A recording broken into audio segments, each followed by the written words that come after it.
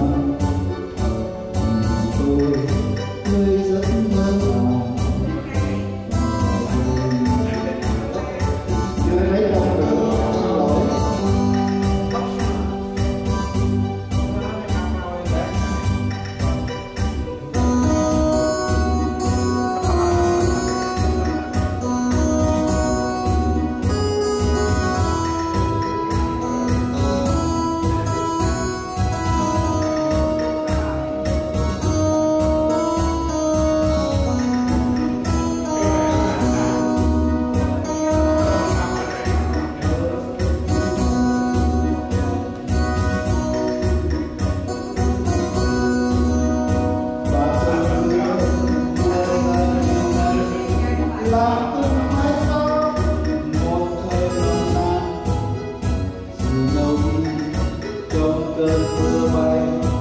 Đường mây tan